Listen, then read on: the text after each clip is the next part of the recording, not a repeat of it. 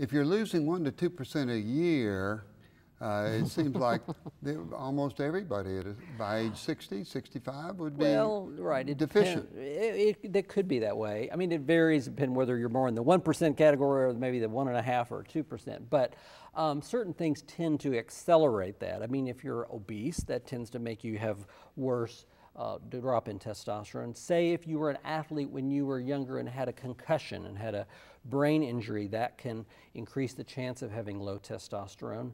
Just even things such as stress can tend to lower your testosterone. It tends to turn off your brain, the hypothalamus and pituitary's drive to produce these hormones.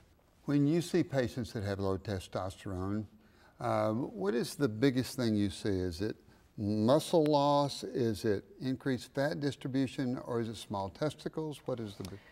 Well, like the small testicles, that's kind of a little bit of a later thing. It can happen. It depends on how long standing the problem has been going on. So many times they're being brought in by their wife or uh, they're just sent in because the doctor did a screening value and it's low, and they because they complained to their doctor of being fatigued, no interest in anything.